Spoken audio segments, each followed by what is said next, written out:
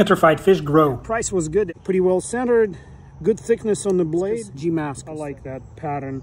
Dark gray and green. Knife feels a lot more premium than uh, under $50 knife. The flipper works great. Runs on bearings with the brass races and steel bolts. Very minimal blade decoration. Achilles heel of all the button lock knives. The surface is engaging the blade. And as you can see, it's a minimal engagement in one and a half millimeter.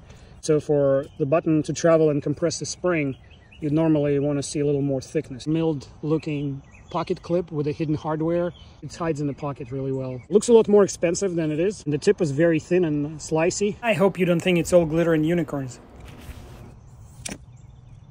Yeah, didn't take much. If it is not a heavy duty work tool, don't be seduced by the fact that it's a tool steel. At a closer look, you can see that the tip was deformed. This steel is very hard, so it took a while to resharpen the knife. Hit like if you think more people should know about this knife.